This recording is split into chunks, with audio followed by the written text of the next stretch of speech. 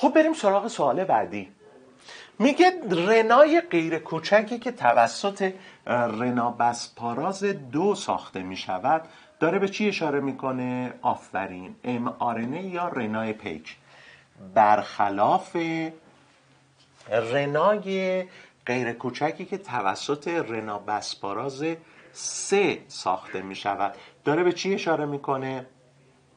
تی یا رنای ناقل چه مشخصه ای داره؟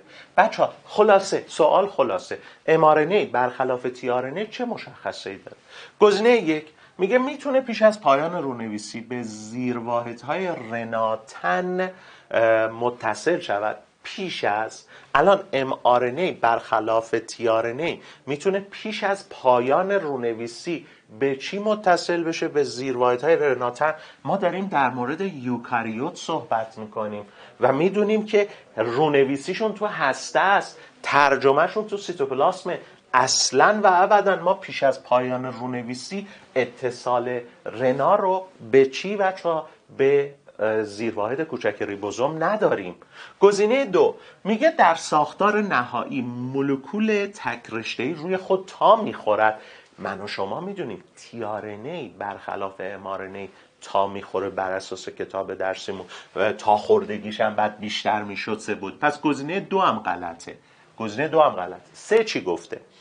میگه که mRNA برخلاف tRNA در طی تمام مراحل ترجمه به زیرواحد کوچک رناتن اتصال دارد. کاملا درسته. من و شما می‌دونیم که زیرواحد کوچک mRNA بهش متصل هست. زیرواحد بزرگم که جایگاه که همونطور که می‌دونیم رنای ناقل توش قرار می‌گیره. همراه با آمین هایی که حمل می‌کنه.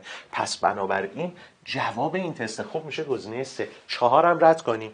میگه پس از رونویسی به طور قطع دستخوش تغییراتی میشه.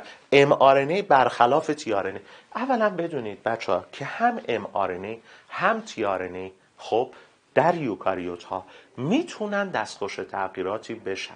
این نکته رو توجه داشته باشه دوما اینکه اون تغییراتی که توی کتاب درسی بیشتر بهشون اشاره کرده در گفتار یک فصل دو مربوط به رنای پیک میشه در ادامه توی گفتار بعدی که می‌خواد ترجمه رو توضیح بده اومده به تغییرات در رنای ناقل اشاره کرده و شما اون تغییراتی که دارید فقط تغییرات در شکل ظاهریش هست که دیدید دیگه تا خوردگی به وجود میاد و بعدم تا خوردگی بیشتر میشه. پس دقت کن به صورت سوال میگه برخلافه. برخلافه نه. گزینه چهار هم باز دوباره غلط هستش. همونطور که عرض کردم هم رنای ناقل پس از رونویسی می‌تونه تغییر بکنه هم رنای پیک پس جواب صحیح این تست خوب گزینه سه